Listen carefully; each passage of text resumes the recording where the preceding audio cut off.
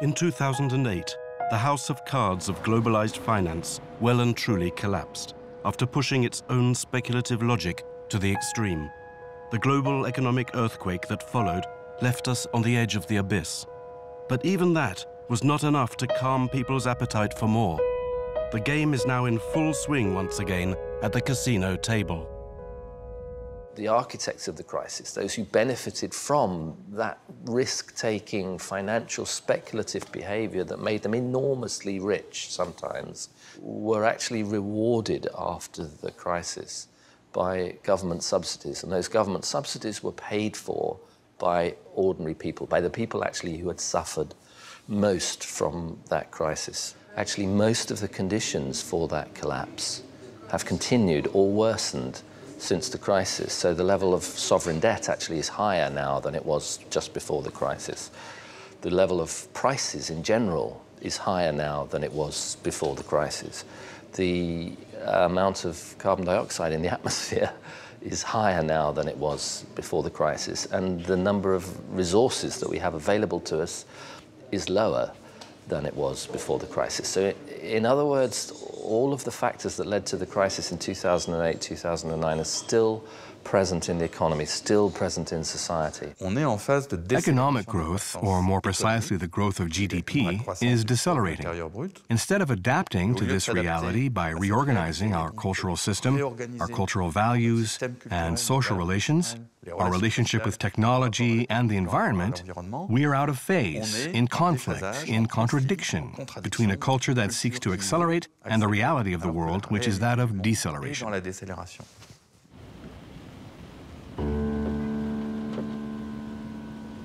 Caught up in this contradiction without necessarily perceiving it, we continue to get nowhere fast. Though there are exceptions.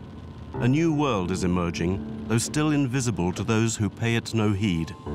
To discover it, one must leave behind the bland industrial zones on the outskirts of towns, like here in Romans-sur-Isère. In the heart of this town, which is in constant decline, a new relationship to time and money is being invented, thanks to the creation of a local currency, an initiative of an association of ordinary citizens.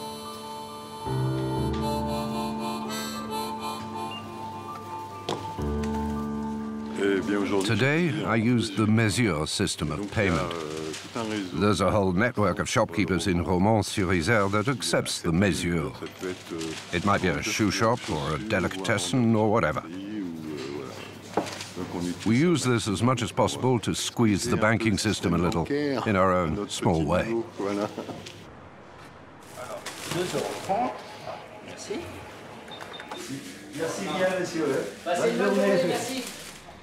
For me, it's a gesture of activism, that's for sure. Because you can't spend it elsewhere. So this will help local farmers and artisans to survive. When they pay in mesure, they feel they're not really paying with money. They're keeping a certain distance away from the financial money point of view. That's how I see it. Donc je vais prendre celui-là, d'accord 25 euros, 40, 25 mesure 40. It's perfectly possible to mix mesure and euros because they're absolutely convertible. With a local currency, you have to impose criteria. You're not going to buy just anything from anyone. You have to follow the rules, so not any old how and not anywhere, because it's a population catchment area. The economy has eliminated moral questions, but in a way, local currencies bring them back by saying, well, yes, this person providing a service is a good guy. So the interest is that you're relocalizing the economy. It's like a do-it-yourself approach to the economy, taking things into our own hands. Just in little ways, it's true, but it's a case of small is beautiful. We're taking things in hand from below and deciding what to do.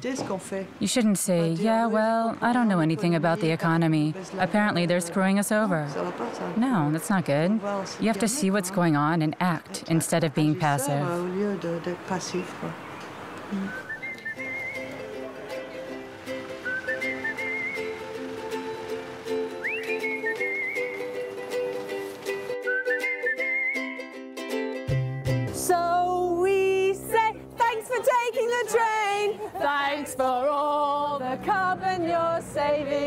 We can live without it. So very grateful are we. So we say thanks for riding your bike, for making Bristol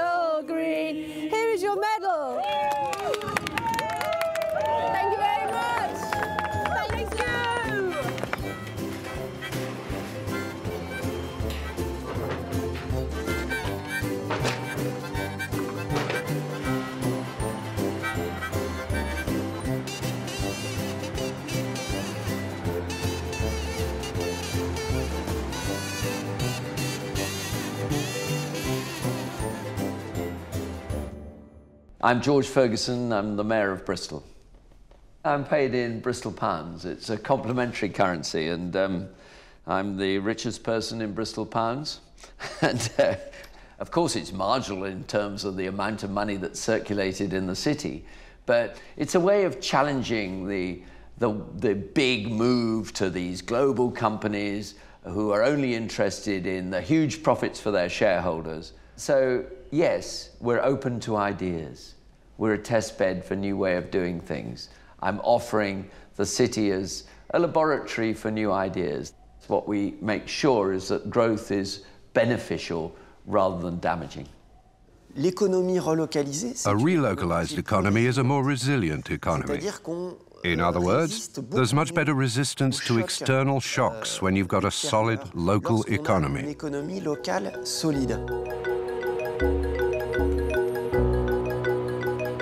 The other side of the Atlantic, Times Square is still the absolute symbol of a society of globalized overconsumption. But this is perhaps just a facade.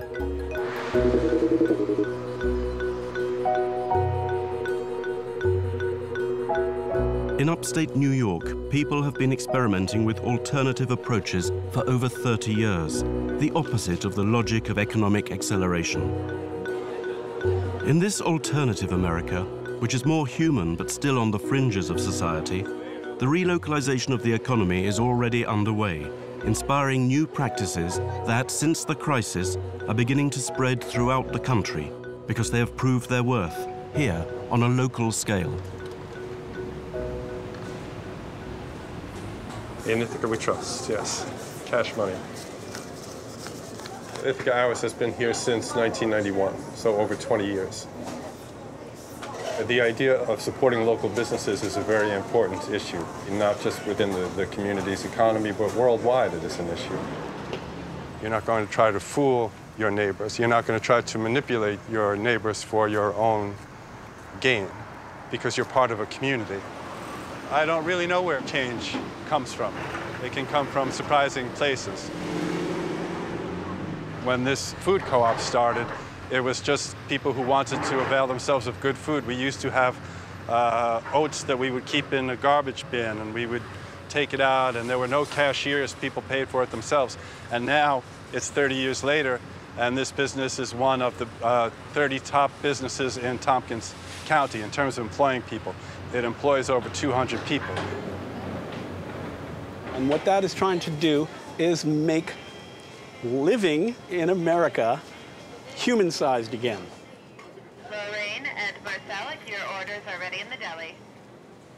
The food is fair trade, it's natural, it's organic, it's locally produced, it's healthy, it's fresh, and it's ethically produced. One thing we do is we put local products right at eye level on the shelf. Uh, other stores actually make companies pay for that. We give this to our local companies right off the bat. We give them better pricing when we buy from them, and we take lower margin on our local products to help promote and support our local producers. We have 29,000 plus people live in Ithaca, and we have uh, 8,500 members, so almost a third of the people in town are members. We're trying to make our community a better place to live all around for all the members of our community. So not just for the businesses, not just for the farmers, but for the people.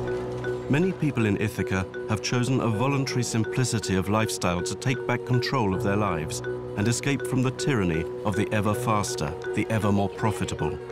To achieve this, they simply decided that time was not necessarily synonymous with money. If humans created the meaning behind time and the meaning behind money, We get to change what the meaning is if we want to. We get to decide what time means. We get to decide what money means. And we get to decide whether or not time and money are really equal.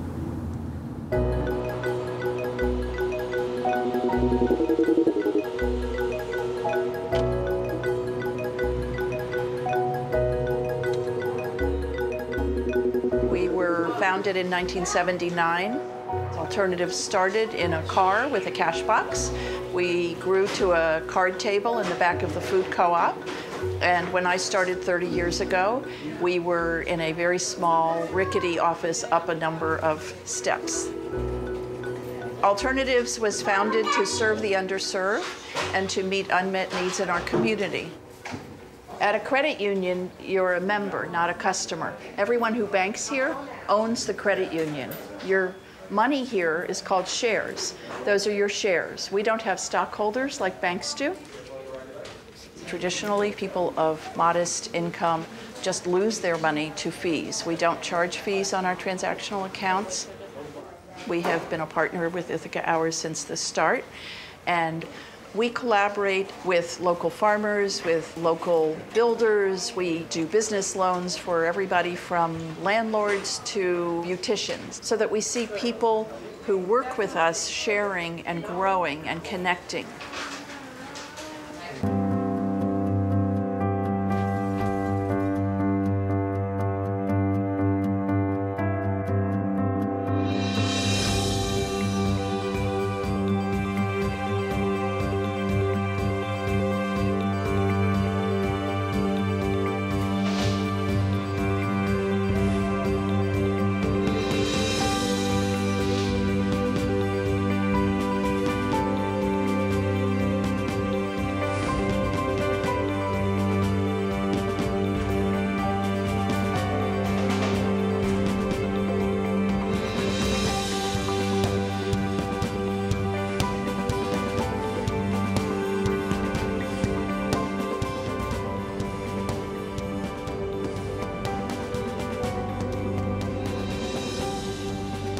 I'm seeing real change. I'm seeing businesses that are uh, stepping up in their own communities saying we are going to build a different future. So I see, uh, for instance, community foundations who uh, maybe traditionally had all the money of their foundation planted out in Wall Street and then the small bit that they get from those investments uh, they give in grants to their communities. Now waking up to say, wow, uh, we actually could use all of this money to be of benefit to our communities. How do we use that money that's off in Wall Street to invest actually in the businesses in our own neighborhood?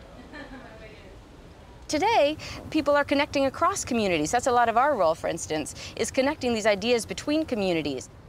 One community comes up with something, another takes that idea and builds upon that, and soon you see whole regions that are they're living into being a different kind of future. The promise of a future that is peaceful and serene is on the side of those who imagine the world differently, who say a different world is possible, when in the short term we should avoid an ecological catastrophe, mainly in the form of climate change. This is a dimension that capitalism and the present oligarchy are totally incapable of taking into account. They are out of ideas. This is perhaps the challenge of the century, to escape from a model of growth that continues to drain the limited resources of our planet, while the urgency of climate change becomes an increasingly undeniable reality.